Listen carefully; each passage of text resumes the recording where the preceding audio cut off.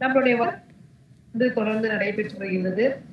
இரண்டாயிரத்தி இருபத்தி ரெண்டு தமிழ் திறனாய்வு தேர்வு அந்த வினா தொகுப்பின் அடிப்படையில் உங்களுக்கு பாடம் எடுக்கப்பட்டு வருகிறது. நேற்று முதல் இருபத்தைந்து கேள்விக்கான ஆஹ், எதனால இந்த கொஸ்டின்கான ஆன்சர் பார்த்துருக்கோம் இன்னைக்கும் அதை தொடர்ந்து பேலன்ஸ் அப்படியே ஒரு சிறு வேண்டுகோள் கொஸ்டின் சில இடத்துல நான் படிக்க சொன்னேன்னா அதை ரீட் பண்ணுங்க.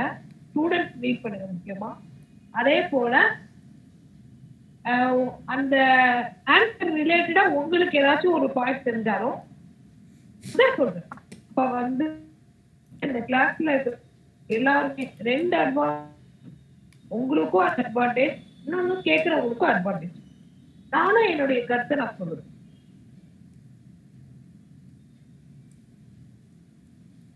நம்ம வகுப்பு போயிடுவோம்.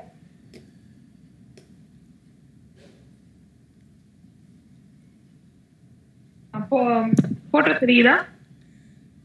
ஆ இப்போ தெரியுது.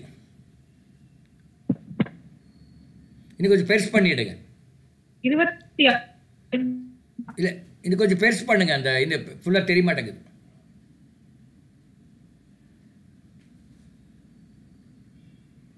இது எழுத்தெல்லாம் சின்னதாக இருக்குன்னா படிக்க முடியாது இப்போ. எழுத்து சின்ன சிறுசாக இருக்கு. ஆ இப்போ கொஞ்சம் பெருசாக இருக்கு. கட்டு கட்டு. ஆ இப்போ இப்போ பரவாயில்ல. ம். இருபத்தி ஆறாவது கேள்வி. எஸ் சார் இல்லை இந்த நம்பர். தெரிய மாட்டேங்குது நம்பர் தெரியுற மாதிரி பண்ணுங்க. தோல்- ஆ ஓகே சார் நம்பர் தெரியல. அப்போ இருபத்தாறு எது ஆ ஆ கரெக்ட் கரெக்ட் கரெக்ட் கரெக்ட் இருபத்தி ஆறாவது ஆ, தொழில் பெயர் விகுதி அல்லாத ஒன்று. தொழில் பெயர் விகுதினா என்ன தெரிஞ்சுக்கணும்? அதாவது நம்மளுடைய பகுபத உறுப்பிலக்கணத்தை ஆறு பகுதிகளாக பிரிக்கப்பட்டிருக்கும். புவி, இடைநிலை. ஆறு பகுதிகளாக பிரிக்கிறோம் விகுதிக்கு பாத்தீங்கன்னா அது பல வகைப்படும். அது நம்ம கொஸ்டின் என்ன கேட்கணும்னா தொழில் பெயர் விகுதினா என்ன? தொழில் பெயர்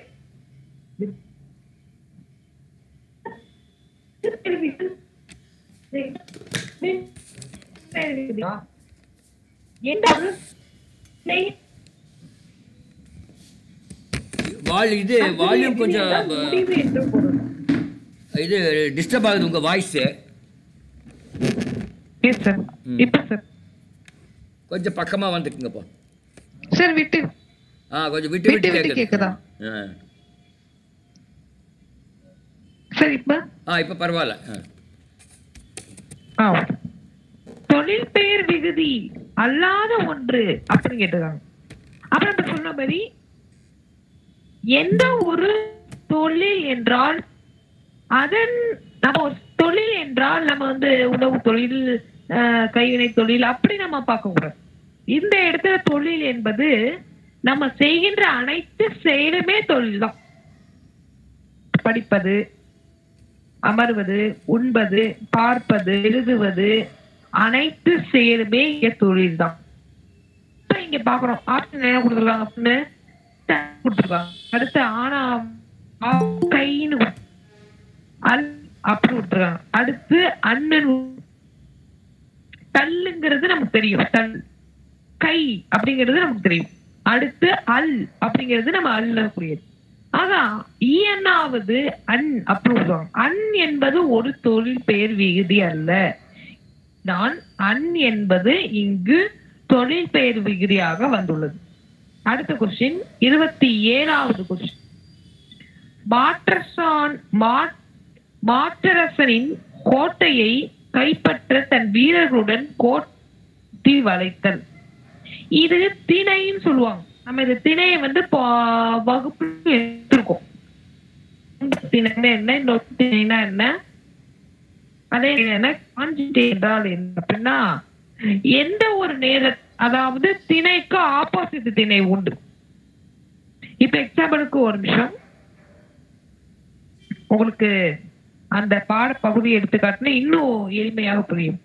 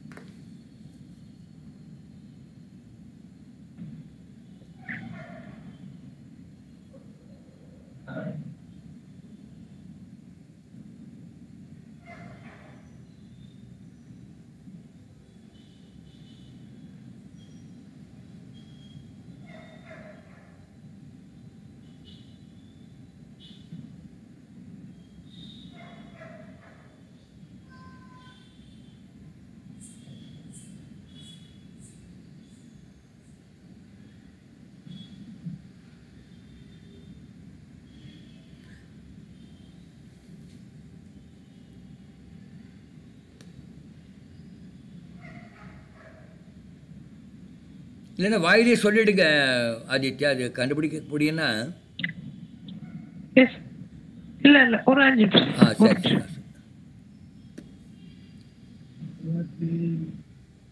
ஆ.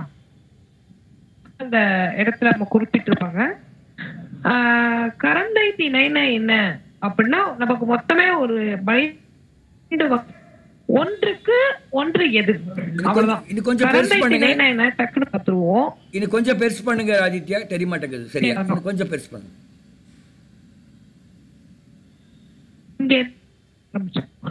நமக்கு ஆறு பனிரெண்டு வகையான திணைகள் உள்ளது. ஒன்று சமானது ஃபர்ஸ்ட் நம்ம பார்க்க போறது வெற்றி திணை. வெற்றி திணைனா ஒரு குழுவிடமிருந்து மற்றொரு குழுவினர் ஒரு குழுவின் ஆண்களை என்றால் ஆ என்றால் ஆடு மாடு. அல்லது ஆணிரைகள் சுவம் ஆணிரைகளை கவர்தல் வழக்கம் இருந்து ஆணைகளை கவர்ந்து அதாவது ஆடு மாடுகளை வந்து ஒரு குழு இருக்கும் மற்றொரு குழுக்கும் இந்த மற்றொரு குழுவிடமிருந்து கால்நடைகளை கவர்ந்து அதன் பின்பு வெற்றி பூ என்று பூ இருக்கு இந்த வெற்றி பூவை நான் காட்டுறேன்.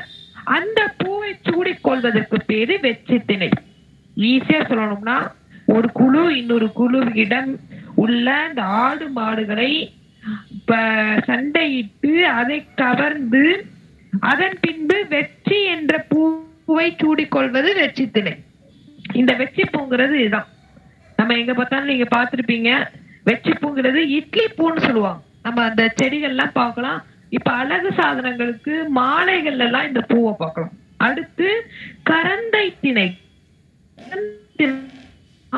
அந்த கவர்ந்து செல்லப்பட்ட தன் ஆணிரைகளை மக்கள் மீட்கச் செல்வர். அப்போது கரந்தை பூவை சூடிக்கொள்வர். கரந்தை பூனா அந்த கரந்தை அதாவது ஆடு மாடுகளை ஆஹ், மக்கள் போய் மறுபடியும் அதை மீட்க செல்வர். அதாவது பார்த்தோம்? முன்னாடி ஒன்று பார்த்தோம். வெற்றி திணைக்கு ஆப்போசிட் தான் இந்த கரந்தை திணை. வெற்றி திணையில சொன்னாங்க ஆடு மாடுகளை பிடிச்சிட்டு போயிடுவாங்க அப்படி சொன்னாங்க. இப்ப இந்த கரந்தை திணையில அந்த ஆடு மாடுகளை மீட்க செல்வர். அந்த போகும்போது பூ சூடிக்கொள்ளக்கூடிய பூ எதுனா கரந்தை பூ. அதுக்கு பேரு கரந்தை திணை என்று பேர். இது எப்படி இருக்கும்னா ரவுண்டா வைலட் கலர்ல இருக்கும். நம்ம வந்து நீங்க இந்த படத்துலயும் நீங்க பார்க்கலாம். ஜூம் பண்ற ஒரு ஜூம் பண்ணி காட்டுறேன். இந்த வைலட் கலர்ல இருக்கக்கூடியதுக்கு வந்து கரந்தை பூ என்று பெயர். இது வந்து நம்ம அதிகமா சாலை ஓரங்கள்ல பார்க்கலாம். அதிகமாக பயன்படுத்தப்படாது எந்த ஒரு செயலுக்கும். ஆஹ் இந்த பூ வந்து சாலையோரங்கள்ல மருத்துவ குணம் கொண்ட ஒரு பூ. அடுத்து வஞ்சித்திணை சொல்லுவாங்க.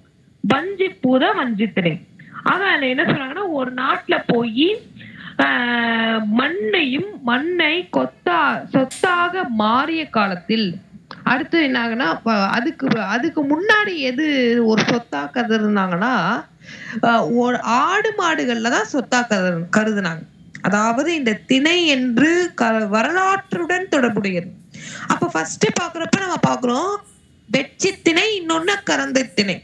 வெச்சி திணையில என்ன பெருசுனா அந்த காலகட்டத்தில் கால்நடைகள் தான் பெருசு. கால்நடைகள்ங்கிறது ஆடு மாடு கோழி இதுதான் பெருசா அதுதான் சொத்தாக்குறதுனாங்க அதுக்கப்புறம் பாத்தீங்கன்னா மாடு அதாவது மண் விலங்கல் இதை சொத்தாக்குறதுனாங்க அதே என்னங்கன்னா மண்ணை அதை மண்ணை வந்து தன் நிலத்தை வந்து ஆஹ், கையகப்படுத்தும் போது மேற்கொள்ளும் அந்த சூடி கொள்ளும் போதுதான் வஞ்சித்திணை இன்னொன்னு காஞ்சித்திணை வஞ்சித்திணையில எதுனா மண்ணை வந்து கவர்ந்து அப்ப அந்த நாட்டுல வந்து வஞ்சி பூவை சூடிக்கொள்வாங்க. அதுக்கு பேரு வஞ்சித்திணை அடுத்து காஞ்சி திணை இதுக்கு ஆப்போசிட் அதே கைப்பற்றப்பட்ட அந்த நாட்டை வந்து மற்ற அரசனோடு போட்டியிட்டு அந்த நாட்டினை மண்ணை மீட்டால் அப்போது சூடிக்கொள்ளும் பூ காஞ்சி திணை காஞ்சி பூ அப்ப அதுக்கு பேரு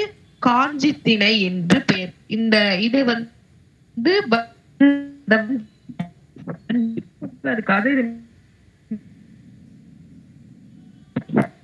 அது என்ன? அது வந்து ஒட்டும் அந்த தன்மை கொண்டது வஞ்சிப்பூ. இந்த படத்துல நீங்க பார்க்கலாம். அதே போல காஞ்சி திணை என்பது காஞ்சி திணை என்பது இந்த குறிப்பிடப்பட்டுள்ள இந்த படத்தில் இருக்கு பாத்தீங்கன்னா அத காஞ்சி திணை இது கொத்து கொத்தாக இருக்கும். ஒரே பூவாக இருக்காது. அடுத்து பார்க்க போடுவது நெ- நொச்சி திணைன்னு சொல்லுவாங்க. நொச்சி இலை. ரொம்ப மருத்துவம் மிக்க ஒரு இலை. நொச்சிக்கே அந்த தைலத்துல நொச்சிங்கிற பேர் போட்டு ஒரு தைலம்லாம் வருது. அப்ப மண்ணை காக்க கோட்டைகள் கட்டப்பட்டன.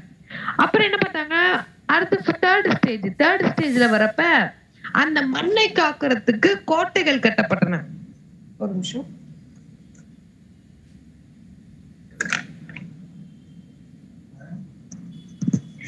மண்ணை காக்க கோட்டைகள் கட்டப்பட்டன அந்த கோட்டைகளை முற்றுகையிட்டு பகையரசனோடு போட்டியிட்டு அந்த கோட்டையை பெற்றாங்கன்னா அதுக்கு சூடிக்கொள்ளும் பூ நொச்சித்திணை அப்ப நொச்சிப்பூ.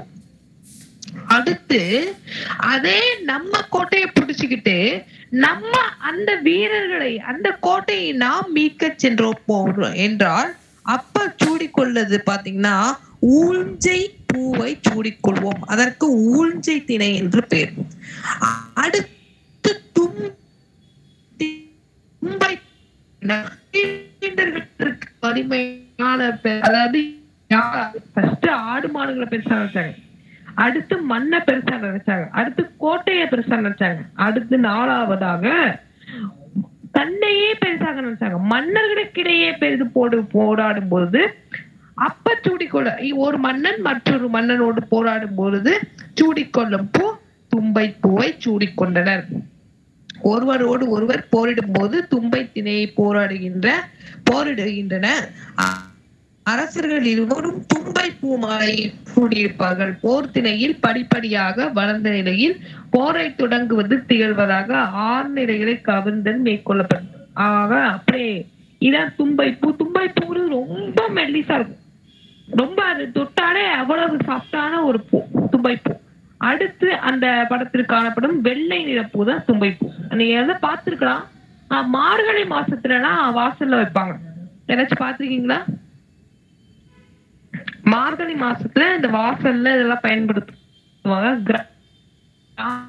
நீங்கள் காணலாம் அடுத்து மன்னனுக்கு சூடிக்கொள்ளும் பூக்கு பேரு ஆஹ் வாகை திணை என்று பெயர் இப்ப வாகையும்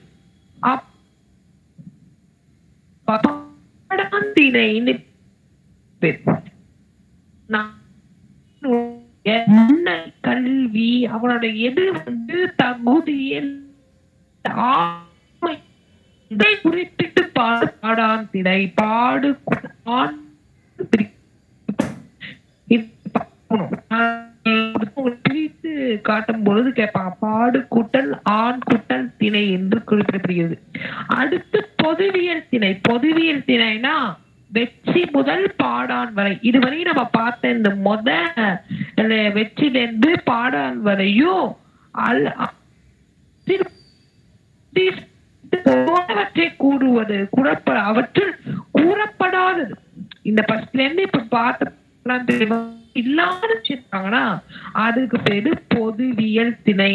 அடுத்து கைக்கிரைன்னு சொல்லுவாங்க. கைக்கிரை திணைன்னு சொல்லுவாங்க. அது ஒரு வகையான காமம் காமத்தை குறிக்கக்கூடிய ஆஹ், திணைக்கு பேரு கைக்கிரை திணை. அடுத்து பெருந்திணை திணை. பெருந்திணை திணைனா பொருந்தாத காமத்தை இதற்கு ஆப்போசிட்டா சொல்றது எல்லாமே பொருந்திணை என்று பெயர். ஆக நம்ம அந்த பன்னெண்டு வகையான திணைகளையும் பார்த்தோம். இப்ப நீங்க என்ன சொல்லணும்னா இப்ப நான் அந்த ஆப்ஷனை காட்டுறேன்.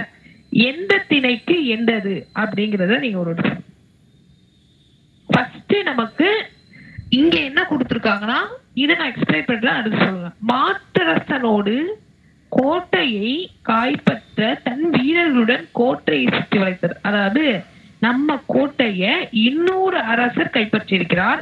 அதை காப்பதற்காக நம்ம அதை சுற்றி வளைத்து வருகிறோம். அப்ப அதற்கு நம்ம வைக்கக்கூடிய திணை இதுதான் ஊழ்ஜை திணை. நம்ம ஏற்கனவே பார்த்தோம். இதற்கு ஆப்போசிட் நம்ம எது பார்த்தோம்னா நொச்சி திணையை பார்த்தோம். நொச்சி ஊஞ்சைன்னு படிச்சோம். தும்பை எப்ப நம்ம படிச்சோம்? தும்பை வந்து எப்பொழுது ஒரு மன்னர் இன்னொரு மன்னரிடம் போரிடும் பொழுது மன்னர்களுக்கிடையே போர் இடைபெறும் போது சூடிக்கொள்ளும் போதா? தும்பை பூ இதெல்லாம் எதற்கு? வெற்றிகளின் அறிகுறைகளை காட்ட. அடுத்து காஞ்சி திணை பார்த்தோம். காஞ்சி திணைங்கிறது மண் தன் மண்ணை வந்து இன்னொருத்தவர் கைப்பற்றி அந்த மண்ணை காப்பாற்ற செல்லும் போது சூடிக்கொள்ளும் அஹ், பூவுக்கு பேரு காஞ்சி பூ அதை நாம் காஞ்சி திரை என்று கூறுவோம். அப்ப இதை நீங்க புரிஞ்சுக்கிட்டா ஈஸியா நம்ம வந்து இதுல இருந்து கண்டிப்பாக ஒரு மதிப்பெண் கண்டிப்பாக வரும். அடுத்து இருபத்தி எட்டாவது கேள்வி. கேக்குதா வாய்ஸ்?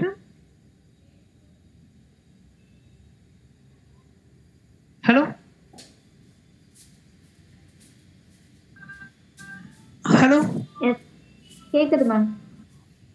ஆ ரிப்ளை பண்ணுங்க அப்பப்பா. அப்பதான் நமக்கு வந்து என்ன இன்ட்ராக்ஷன்ல இருக்கணும்? நீ நீங்க வந்து நம்ம ஒரு ஸ்டூடெண்ட் பேர் தான் நானும். உங்களை மாதிரி தான் நானும் வந்து நடத்திட்டு இருக்கேன். அப்போ ஒரு இன்ட்ராக்ஷன் இருந்தா தான் நல்லா இருக்கும் அடுத்து இருபத்தி எட்டாவது கேள்வி. கை தொழுது கை தொழுது இலக்கணம் குறிப்பு கேட்டிருக்காங்க. இங்க கை தொழுது என்ன வேற்றுமை தொகை சொல்லுவாங்க. அதாவது வேற்றுமை தொகை எத்தனை வகைப்படுதுன்னா ஆ ஏழு வகைப்படும். அதாவது முதலாம் வேற்றுமை தொகை இரண்டாம் வேற்றுமை தொகை மூன்றாம் வேற்றுமை தொகை ஆறாம் மூ- நான்காம் வேற்றுமை தொகை ஐந்தாம் வேற்றுமை தொகை ஆறாம் வேற்றுமை தொகை ஏழாம் வேற்றுமை தொகை என்று ஏழு வகைகள் அதற்கு ஒரு ஒரு ஒவ்வொரு வேற்றுமை தொகைக்கும் ஒரு சொல் இருக்கு. என்ன அப்படின்னா ஐ ஆள் கு இல்லது கண் அப்படி சொல்லுவாங்க. ஐ ஆல் கு இல்லது கண். ஐ ஆல் கு இல்லது கண் என்றால் இந்த ஐ என்பது முதலாம் வேற்றுமை தொகை.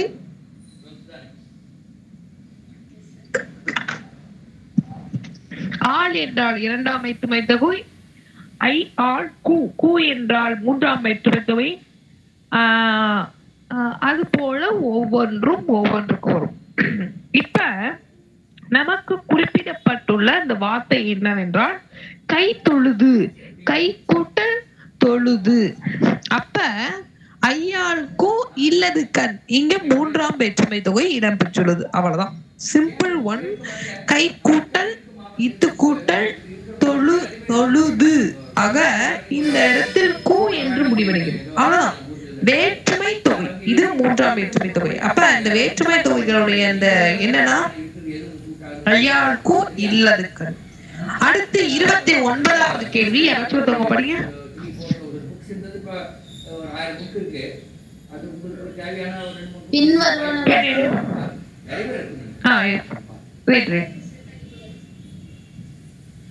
வெயிட் பண்ணுங்க.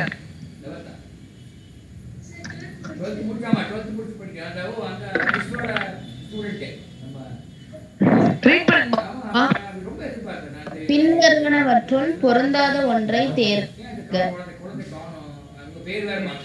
அப்ப இந்த இடத்துல என்ன கேட்டிருக்காங்கன்னா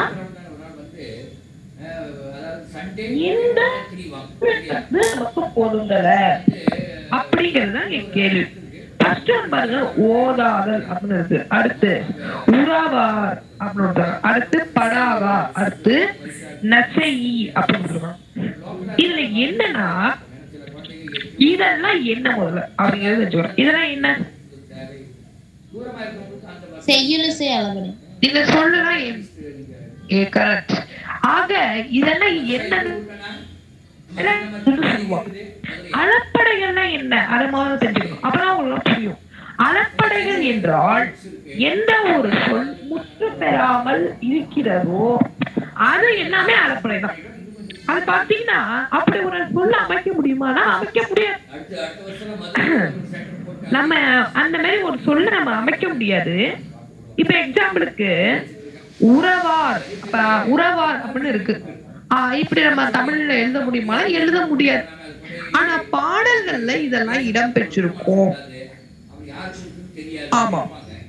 நம்மளுடைய ஔவையார் எழுதிய பாடல் ஓதாதல் வேண்டும் ஓதாதல் ஒரு நாள் இருக்க வேண்டாம் ஒருவரை பொல்லாங்கு சொல்ல வேண்டாம் அப்படிங்கிறது ஓதாதல் என்றவும் அப்ப இப்படி ஒரு அமைப்பை அமைக்க முடியாது. ஆனால் இந்த மாதிரி எழுதுவதற்கு பெயர் அலப்படைகள் என்று பெயர். அது முழுமையாக இருக்காது. இது இலக்கணங்கள் பெரும்பாலும் பாடல் பகுதிகளில் புலவர்களால் பயன்படுத்தப்பட்டிருக்கும். அந்த முத மூன்று என்னன்னா செய்யுளிசை அறப்படை செய்யுளிசை அறப்படைனா என்ன? செய்யுளிசை அறப்படை இன்னிசை அறப்படை சொல்லிசை அறப்படை என்று அளப்படைகள் மூன்று வகைப்படும். அளப்படைகள் எத்தனை வகைப்படும்? அளப்படைகள் எத்தனை வகைப்படும்? மூணு வகைப்படும். வெரி குட் மூன்று வகைப்படும். இந்த மாதிரி ரிப்ளை பண்ணுங்க. அப்பதான் வந்து இன்னும் நல்லா இருக்கும் எனக்கு வந்து நடக்கணுங்கிற ஆசை இருக்கும். அது வந்து மூன்று வகைப்படும் ஒண்ணு செயலிசை செயலப்படை இன்னொன்னு சொல்லு செயலப்படை இன்னொன்னு இசை இடையப்படை இந்த மொத மூணு என்னன்னா செயலிசை செயலப்படை இந்த நாலாவது என்னன்னா இசை நிறை அளப்படை இசை நிறை அளப்படைன்னு நம்ம எப்படி தெரிஞ்சுக்கிறது அப்படின்னா ஈ என்ற சொல் முடிவடைந்தால் அது இசை நிறை அளப்பறையாக தான் இருக்க வேண்டும். உங்களுக்கு டவுட்டா இருக்கா? தமிழ் இயல் ஒண்ணுல உங்களுக்கு இந்த புக்ல இருக்கு. முதல் இயல்ல உங்களுக்கு காணப்படும். ஆக ஈ என்ற சொல் வந்தால் அது இசை நிறை அளப்படை மத்த எல்லாமே என்னன்னா நமக்கு சாரி இன்னிசை அளப்படை மத்த எல்லாமே என்னன்னா நமக்கு செய்யுளிசை அளப்படை அவ்வளவுதான். ஈஸியா வரும் அடுத்த அடுத்த கொஸ்டின் ரீட் பண்ணுங்க.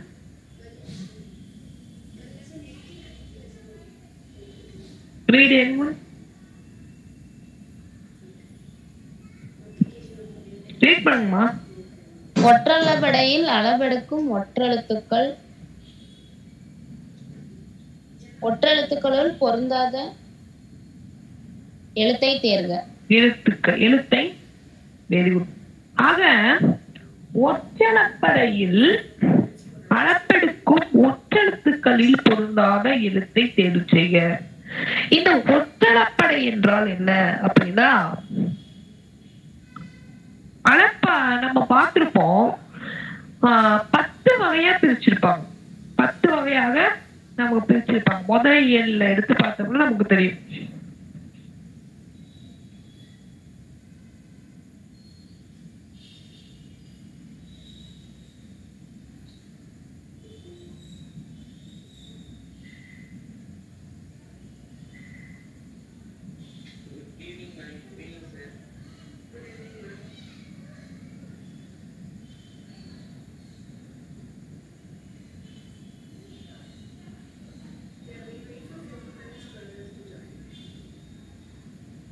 One minute.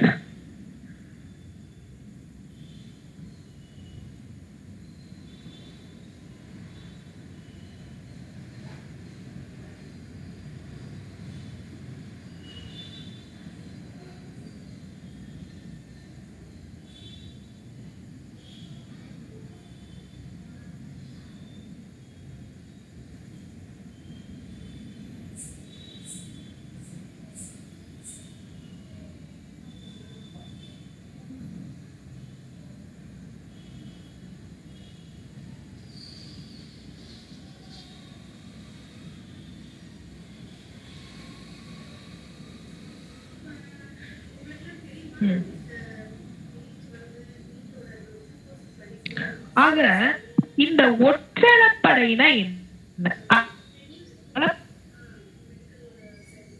அளப்படைகள் இரு- வகைப்படும் அது ஒண்ணு என்னன்னா உயிரிழப்படை இன்னொன்னு ஒற்றளப்படை எனக்கு ஒரு கன்ஃபியூஷன் ஆயிட்டு. சாரி இன்னொரு நல்ல நான் கரெக்டா சொல்லிடுறேன்.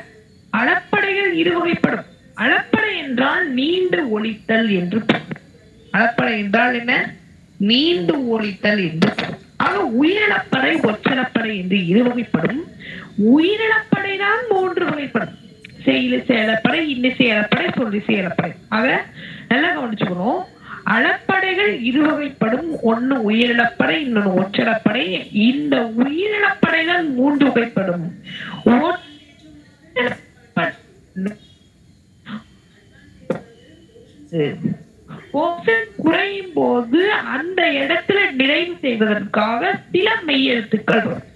அது என்னென்ன மெய்யெழுத்துக்கள்?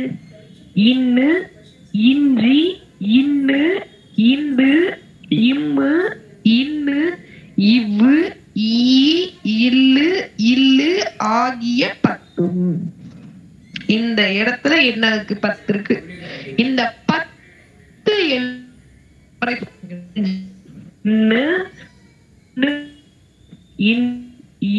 இன்னு, இவ்வு, ஈ, இல்லு, இல்லு ஆகிய பத்தும் அக்கேனா என்ற ஒன்றும் ஆயுத எழுத்தும் ஒற்றடப்படைகள் என்று அழைக்கப்படுகின்றன. ஆக இந்த கொஸ்டினுக்கு வந்தீங்கன்னா இதுல இண்டு வருது இன்னு வருது இல்லு வருது. இந்த இல்லு வந்து ஒற்றளப்படையில் வராது. அந்த பத்து எழுத்து மட்டும்தான் ஒற்றிலப்படை மற்ற மற்ற எழுத்துக்களை ஒற்றளப்படையில் வராது. ஆக இந்த இல் என்பது ஒற்றிலப்படையில் வராது. ஓசை குறையும் போதுதான் ஒற்றளப்படையே வரும். இது வந்து ரேர் கேஸ் உயிரிழப்படை தான் அதிகமா வரும். அஹ் என்பது ஆஹ், ஆஹ், சொல் அதிகமாக வராது. ஆனா இலக்கணங்களில் உண்டு. ஒற்றப்படை என்பது இந்த பத்து எழுத்துக்களை உண்டு. இன்னு இன்னு இஞ்சி இண்டு இந்து இம்மு ஈ இவ்வு இல்லு இன்னு ஆகிய எழுத்துக்கள் உண்டு. அதில் அக்கேனாவும் ஒன்று. இந்த இ- என்பது அடுத்து அடுத்த கொஸ்டின் படிங்க யாராச்சும்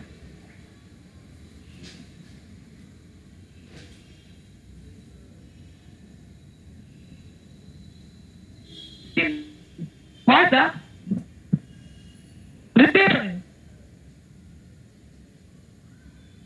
ஹலோ? தோழமை என்றவர் சொல்லிய சொல் ஒரு சொல் அன்றோ என்ற தொடரோடு தொடர்புடைய இருவர்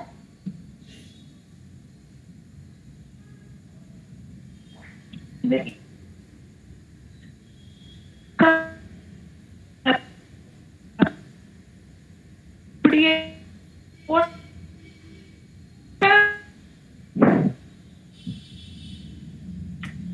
பாடத்துல பார்த்தா இது அப்ப இருக்கு. இரண்டு ஒரு ஆறு பேர் இருப்பாங்க. ராமர் வந்து காட்டுக்கு வனவாசம் செல்லும் பொழுது ஒரு ஆறு பேர் துணை நிற்கிறாங்க யாரு? அனுமன் ராம் சுக்ரீவன் பீடரன் முகன் குகன் ஆகிய ஆறு பேர் நிற்பாங்க. இன்னும் ஒரு ரெண்டு பேர் இருக்காங்க. ஆறு பேர் வந்து ராமருடன் மிக ஆஹ், நெருங்கியவர்களாக இருப்பார் ஒவ்வொருவரும் அவருடைய கதாபாத்திரம் என்பது மிக மிக மிக முக்கியமான ஒன்று. இன்னும் ஒரு வகுப்பு கிடைச்சதுன்னா ஆஹ், நம்ம அதை பத்தி டிஸ்கஸ் பண்ணுவோம். நல்ல கம்பராமாயணம் அருமையான ஒரு பாடல். இதுல குவன் அவர் வந்து யாரு? ராமன் குகன் என்ற இருவர் தான் இந்த வரிகளை பேசியிருப்பாங்க. ராமன் குகன் யாருன்னா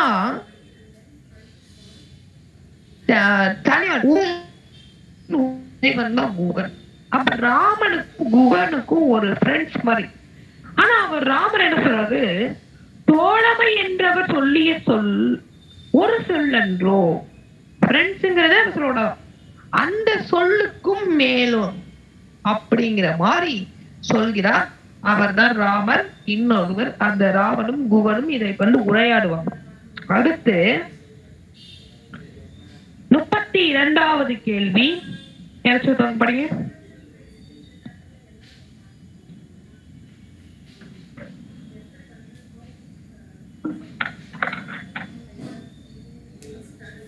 சண்முக சுந்தரம்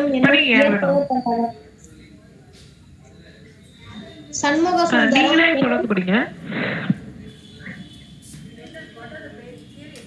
தொடர்ந்து கேக்குதா? கேக்குதுங்க.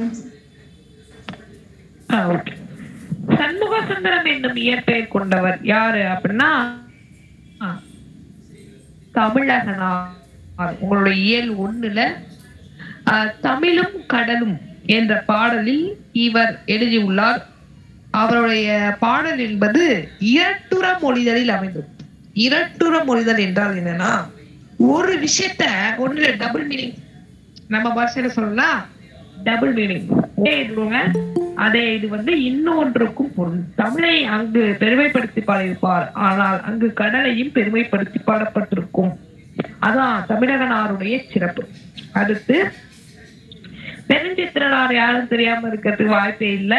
அன்னை மொழியுடைய ஆசிரியர் தான் பெருஞ்சித்தனார் பாவனார் யாரும் தேவனீய பாவனார். அப்புறம் என்ன சொல்லுவாங்கன்னா மொழி ஞாயிறு என்று அழைக்கப்படுவர் சச்சிதானந்தன் யாருன்னு உங்களுக்கு தெரியும். நீங்க படிச்சிருப்பீங்க. ஆஹ் ஒரு டூ மார்க் கூட உங்களுக்கு வரும். ஏன்னா ஒரு கொஸ்டினுக்கு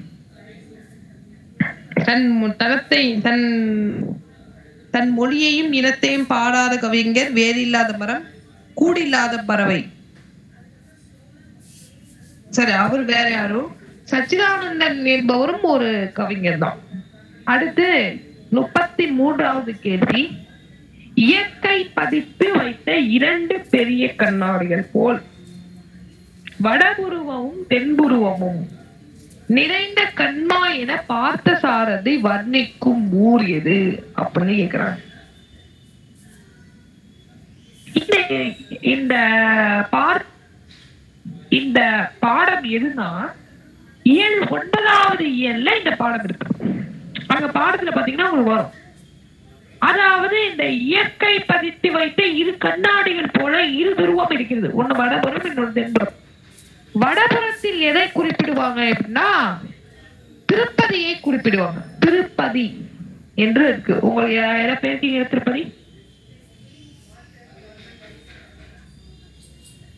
ஹலோ? திருப்பதி யாராச்சும் போயிருக்கீங்களா? எஸ் மேம் திருப்ப எஸ் ஓகே அப்படி ரிப்ளை பண்ணுங்க. ஃபர்ஸ்ட் ரிப்ளை பண்ணா நான் அடுத்து போறோம். திருப்பதி. அப்படிங்கிறது பெருமாளுடைய ஸ்தலம். நூத்தி எட்டு திவ்ய தேசங்களில் ஒன்று திருப்பதி ஆந்திரால இருக்கு. டெய்லி ட்ரெயின் போகுது எல்லாரும் போகலாம்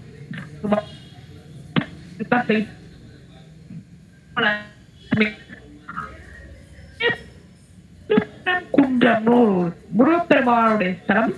ஆறு படை வீடுகளில் ஒன்று. முருகனுடைய முதல் ஸ்தலம் அப்படி சொல்லுவாங்க முதல் வீடு எதுனா முருகனுக்கு ஆறு வீடு. முருகன் வந்து பாத்தீங்கன்னா ஆறு முகங்களாக பிறக்கப்பட்டவர். ஒண்ணு வந்து ஒவ்வொரு நட்சத்திரத்திற்கும் ஆறு ஒன்று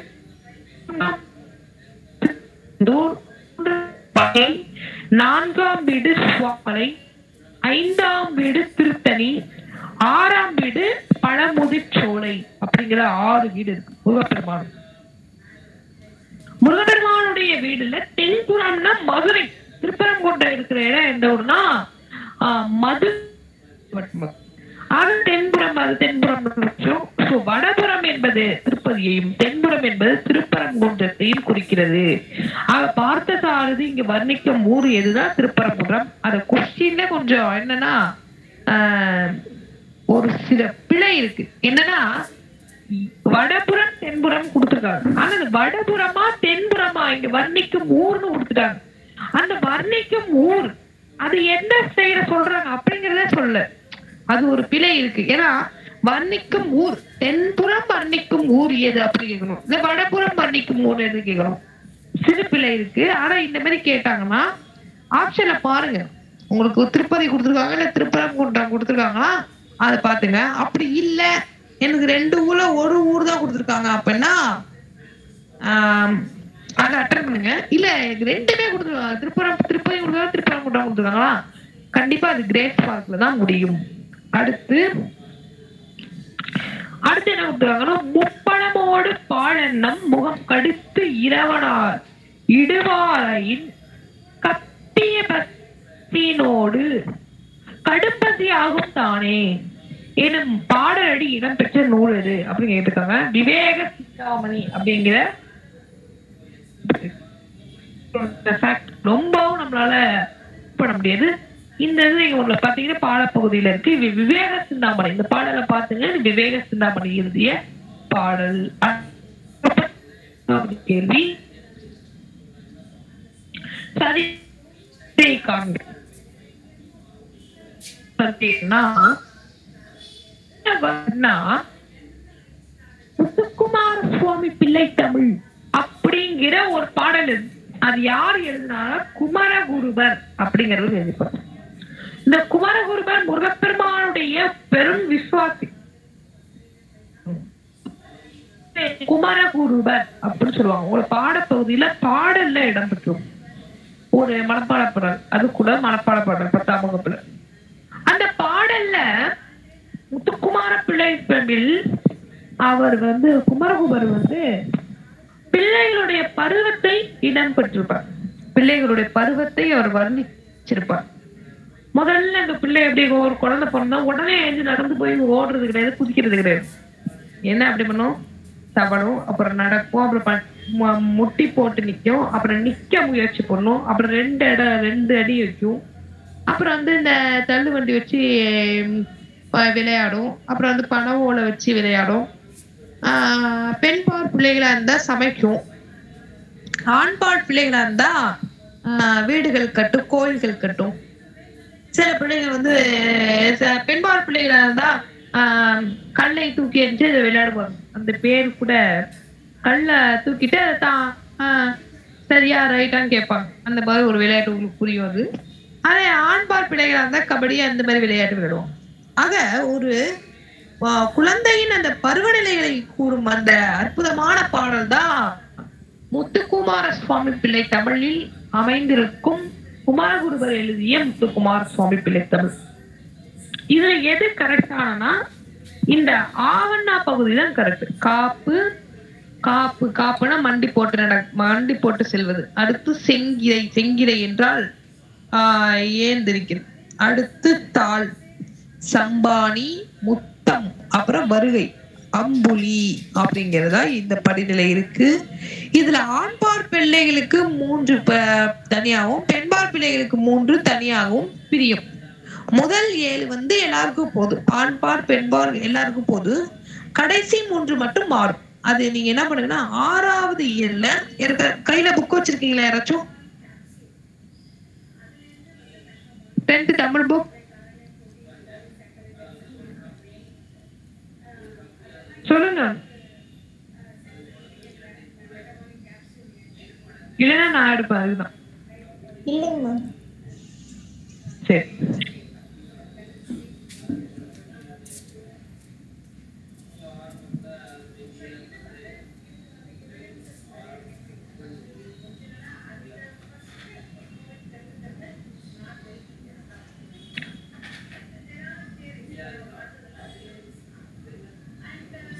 காப்பு செங்கிரை தாள் சம்பாணி முத்தம் வருகை. அம்புலி இதுவரையும் எல்லாருக்கும் பொது. இதற்கு அப்புறம் வரக்கூடிய அந்த பருவம் பார்த்தீங்கன்னா மாறுபடும் இதை முத்துக்குமார சுவாமி பிள்ளை தமிழ் எழுதிய பாடல். இந்த பாடலை படிச்சிருப்பீங்க. குமரகுருபர் எழுதிய பாடல். இல்ல ஆறு இருவாளருக்கும் பொதுவான பருவம் பாருங்க. காப்பு செங்கிரை தாள் சம்பாணி தம் வருகை அம்புலி. இந்த ஏழும் ஒன்னாகும் இப்ப ஆண்பார் பிள்ளை தமிழுக்கு ஆண்பார் பிள்ளை தமிழுக்கு என்னன்னா மூன்று பார் சிற்றில் சிறுபாறை சிறுதேன். இது வந்து ஆண்பார் பிள்ளை தமிழுக்கும் பெண்பார் பிள்ளை தமிழுக்கும் கிழங்கு அம்மானை ஊசல் என்ற மூன்று மாறுபடும். இந்த இடத்துலதான் உங்களுக்கு மிஸ்டே வைப்பாங்க. இப்ப நீங்க இந்த வரிசையா ஒழுங்கா படிச்சிருந்தீங்கன்னா ஓகே. இது மாத்தி மாத்தி படிச்சிருக்கேன் எனக்கு தெரியும். ஆனா மாத்தி மாத்தி படிச்சிருக்கேன் அப்படின்னா அங்க நமக்கு என்ன பண்ணிடுவாங்க? மாற்றிடுவீங்க. சோ அது நீங்க பாத்தீங்க சரி அப்படியே யாராச்சும் ஒருத்தவங்க படிங்க. இருபாலருக்கும் பொதுவான பருவங்கள். அப்படியே படிங்க.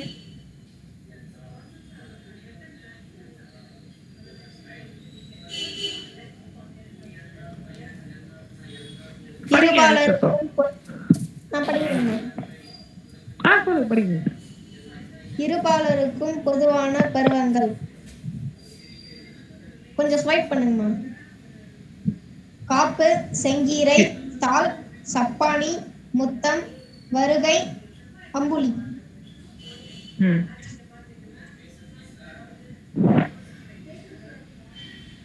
ஆண்பார் பிள்ளை தமிழ். கொஞ்சம் ஸ்வைப் பண்ணுங்க அது ஜூம் பண்ண முடியல எனக்கு. ஓகே இப்ப தெரியுதா? கொஞ்சம் ஆ சரி.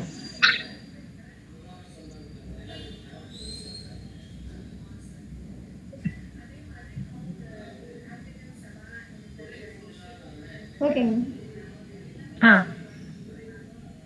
சிற்றில் சிறுபறை சிறு ஆ அது கீழே இருக்கிறது பெண் பாப்புலேட்டபிலிட்டி அது எப்படி பிடிச்சது பெண்பார் பிள்ளை தமிழ் கழங்கு அம்மானை ஊசல். ஆக இந்த பத்து பருவத்தை நீங்க ரெண்டு பார்ப்பிடத்துக்கும் தெரிஞ்சுக்கணும். அப்ப ஈஸியா உங்களுக்கு ஒரு மார்க் தொலை எடுத்துடலாம். அடுத்த அடுத்த கொஸ்டின் வீரமாமுனிவர் இயற்றிய அகராதி. வீரமாமுனிவர் யாரு?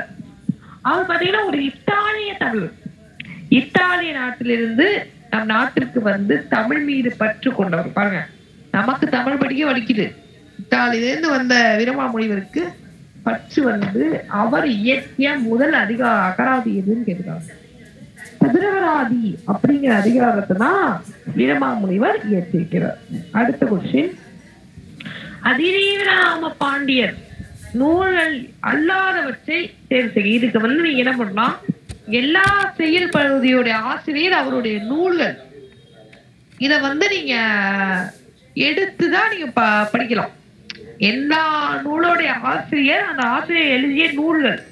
அது எல்லாமே நீங்க ஃபிங்கர் பிரிண்ட்ல வச்சிருக்கணும்.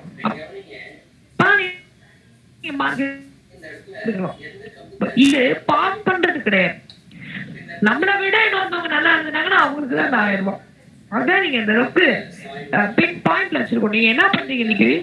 இந்த கிளாஸ் முடிஞ்ச உடனே கொஞ்சம் சாப்பிட்டுட்டு உங்களுடைய தமிழ் புத்தகத்தை எழுதுங்க எல்லா செயல் பகுதியோடைய ஆசை எழுதிங்க. அவர் எழுதிய தே பிறந்த தேதி இறந்த தேதி எழுதிங்க. சிலது இருக்காது. அது இல்லாதவற்றை விட்டுடுங்க. அவர் எழுதிய நூல்கள்ல கொடுத்துருப்பாங்க கண்டிப்பா. அதை எழுதிங்க. அவருடைய இயற்பெயர் எழுதிங்க. ஏதாச்சும் ஊர் ஏதாச்சும் கொடுத்துருந்தாங்கன்னா அதெல்லாம் எழுதிங்க. அப்படியே எழுதி ஒரு நோட்டை எழுத்து எழுதிங்க. அதான் உங்களுக்கு ஒரு மார்க் பாருங்க எத்தனை அதிக எத்தனை ஆஹ், ஆசிரியருடைய குறிப்பு கேட்டிருக்காங்க. அதான் ஒரு மார்க் ரெண்டு மார்க் கிடைக்கும். நீங்க என்ன பண்ண? உங்களுடைய முயற்சி இதெல்லாம் ஒரு முயற்சி. நான் ஒரு ஞாயிற்றுக்கிழமை எக்ஸாம் எழுதுறோம் சனிக்கிழமை லைட்டா பார்த்து திருப்பி பார்த்துட்டு போனா கூட அவனுக்கு மதிப்பேன் நீங்க என்ன படிக்க வேணாம். அதை அப்படியே பார்த்து எழுதுங்க. நீங்க செஞ்சிருக்க அது ஒரு ஹோம் முயற்சி அடுத்து அறிவீரராமன் நூல் ஆசிரியர். நூலெல்லாம் அவற்றை தெரிஞ்சுக்கணும். நீங்க ஆஹ் ஆஹ் பாண்டியர் வந்து எல்லாதவற்றையும் நீ- நீ அவருடைய நூல்கள் எது தெரிஞ்சிருந்தாலும் நீங்க அல்லாதவற்றை தெரியலாம் சோ அதை நீ பாத்துங்க அப்ப கருட புராணம் தான் இங்க இருந்து அவர் இல்லாத நூல்கள். அடுத்து பொருந்தாத இணையை தேர்வுக இதுல பாத்தீங்கன்னா ஆஹ் எது வந்து ஆஹ் எந்த இணை வந்து சரியா இல்லையோ அதுதான் தவறு. இங்க மண்ணீட்டாளர் அப்படிங்கிறது வந்து சிற்பி. மண்ணீட்டாளர்னா சிற்பம் செய்யறவங்க அர்த்தம்.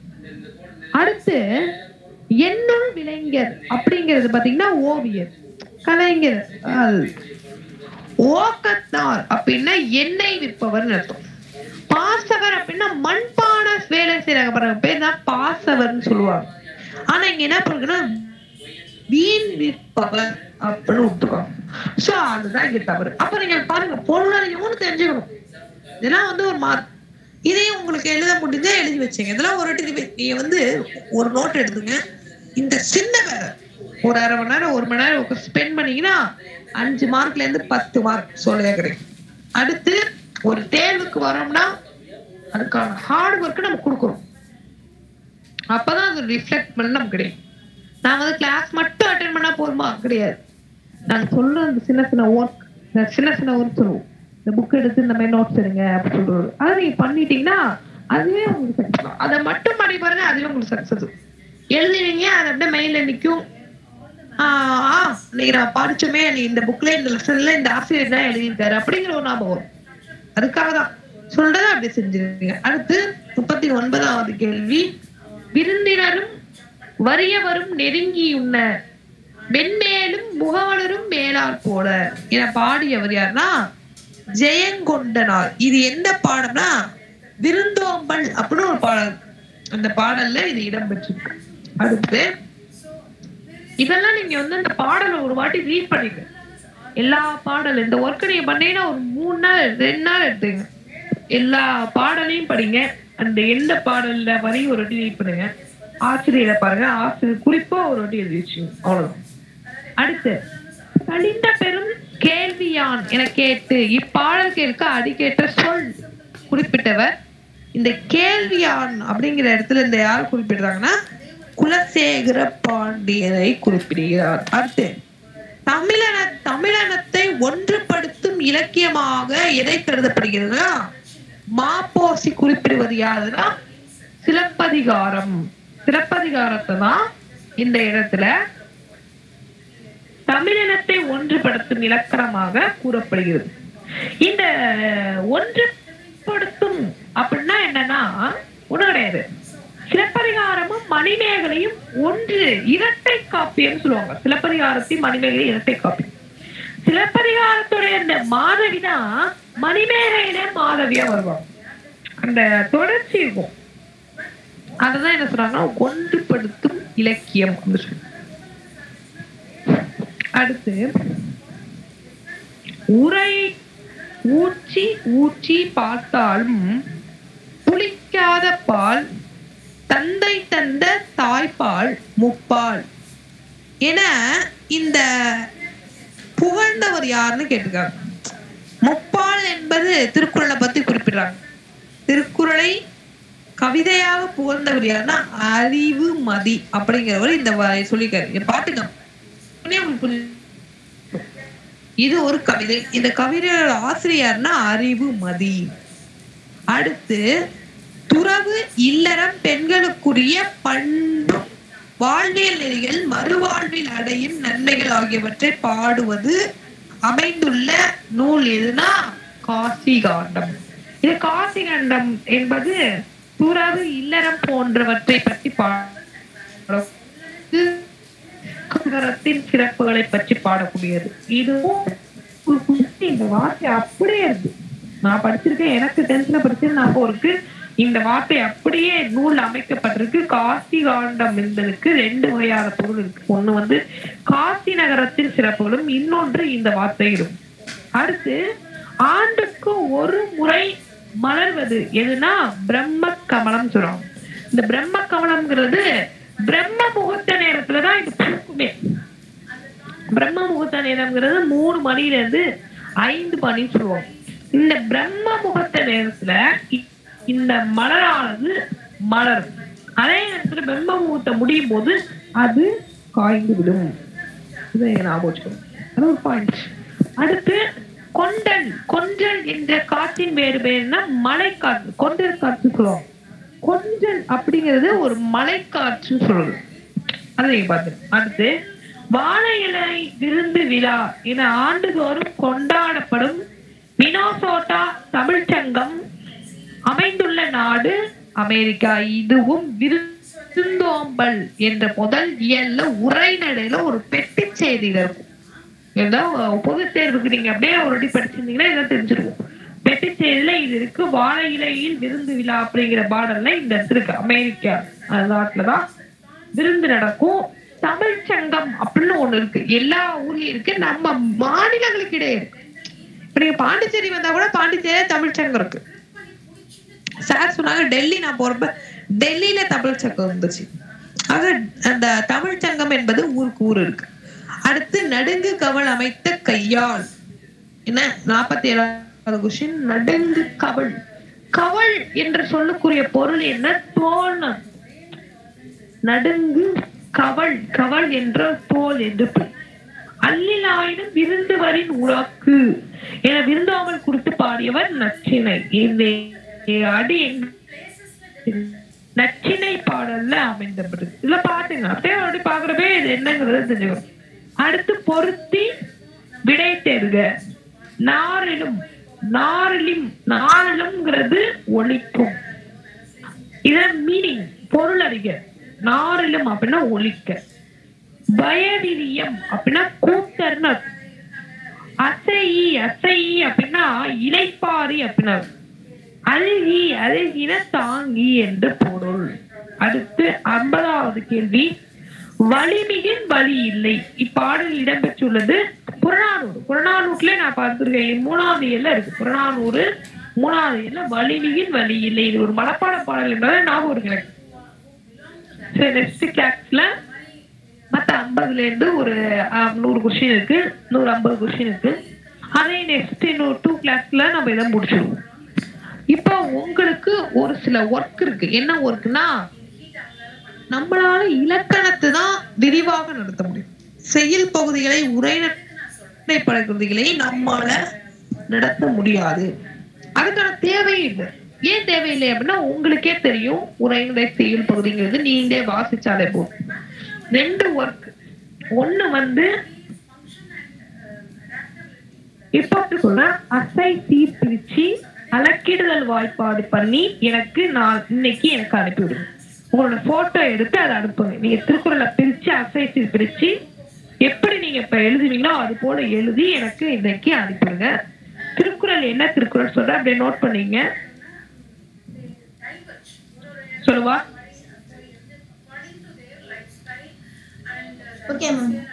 திருக்குறள். ஆ.